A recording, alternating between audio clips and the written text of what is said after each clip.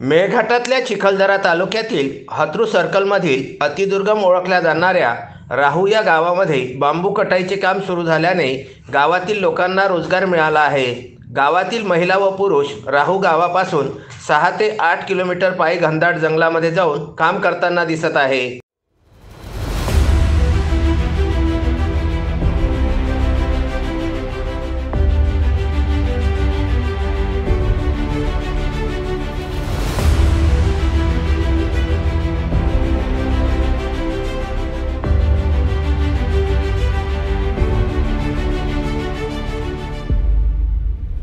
हे कार्य फार मोठ्या मेहनतीचे व कष्टाचे आहे.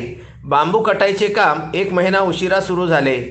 गावातील वादग्रस्त कारणांमुळे परंतु बांबू कटायचे काम पुन्हा सुरू झाल्याने राहू या गावातील सर्व लोकांमध्ये आनंदाचे वातावरण बघायला मिळत आहे. एक महिला व एक पुरुष एका दिवसात ऐंशी ते शंभर बांबूंची कापणी करतात.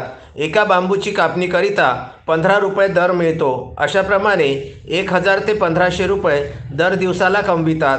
राहू गावामध्ये काम सुरू झाल्याने गावात आनंदाचे वातावरण आहे. त्यामुळे गावातील लोक कामासाठी बाहेर जात नाहीत. रस्त्याचे काम सुरू आहे. यामध्ये चारशेच्या वर मजूर सध्या काम करीत आहे आणि तीनशेच्या वर मजूर बांबू कटाईवर काम करीत आहे. सदर ठिकाणी विदर्भ न्यूजचे प्रतिनिधी यांनी स्वतः सहा किलोमीटर आत घनदाट जंगलात जाऊन कामाची पाहणी केली. काम सुरू झाल्यामुळे आपल्याला रोजगार मिळाला असे राहू गावातील महिला व पुरुष म्हणत होते. यावेळी गावातील सरपंच सामूहिक वन हक्क समितीचे सचिव लेखापाल व सदस्य उपस्थित होते. राहू सामूहिक वन हक्क ग्रामसभा समितीकडून रोजगार मिळाल्याने आनंदाचे वातावरण बघायला मिळाले आणि मजुरांच्या चेहऱ्यावर आनंदाचे वातावरण निर्माण झालेले आहे. राहू गावात ग्रामसभा समितीकडून बांबू कटाईचे काम सुरू झालेलं आहे. त्याचप्रमाणे इथं बांबू कटाईसाठी काही महिला वर्ग आणि पुरुष वर्ग सुद्धा इथं आलेले आहे.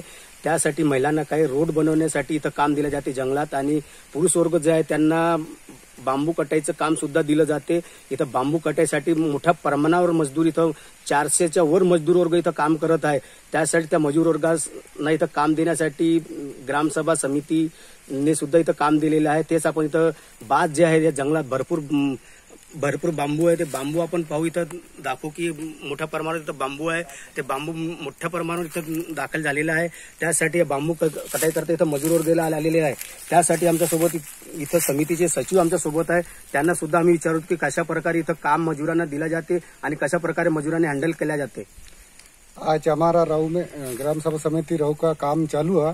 तो उसमें डेढ़ से दो सौ महिला मजूर है रास्ता का काम में और हमारा जो कटाई के लिए है, कटाई में दो से ढाई सौ मजूर है, ऐसा तीन चार सौ मजूर अभी कटाई काम में चालू है और हमारा जो बाहर का, हमारा गाँव का मजूर है, गाँव का लोगों बाहर काम करने जाता नहीं और हम, उनको ग्राम सभा समिति की ओर से यहाँ काम उपलब्ध है तो रोज़गार गिरता है कॅमेरामॅन अबोध चव्हाण सर, मी मारुती पाटणकर, विदर्भ न्यूज़, चिखलदरा।